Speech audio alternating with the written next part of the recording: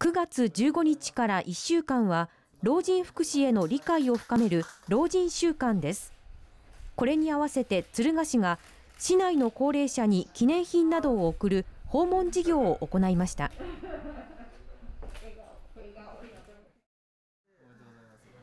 敦賀市は毎年この時期に市内の88歳と100歳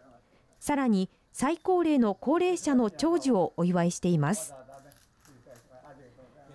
今年は403人の対象者に記念品が贈られました。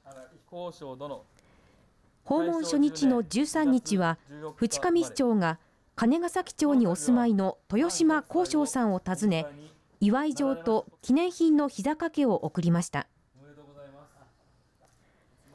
豊島さんは大正10年生まれで今年2月に100歳を迎えました。第二次世界大戦中は海兵として従軍し復員した後は敦賀空襲で焼失した実家の金禅寺の復興に尽力しました。その後金禅寺の住職を長年務め引退した現在は自分の心に残った言葉を書きつけた木彫りの作品作りに没頭しています。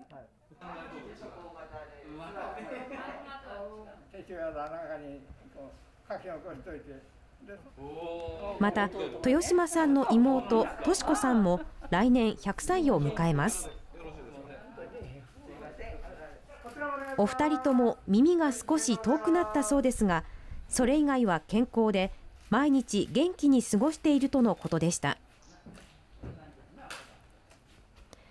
なお敦賀市内に住む100歳以上のお年寄りは9月1日現在で男性11人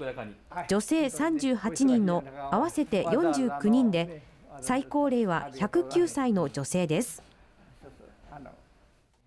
あのね私とにかくねあののんき者ですのでね、まあ、物事にはこだわらんとね生きていった方がいいなと思います。